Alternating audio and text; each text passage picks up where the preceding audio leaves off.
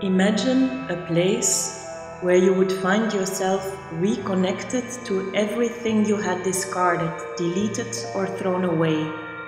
Objects, thoughts, relations you had already cut yourself loose from and forgotten about.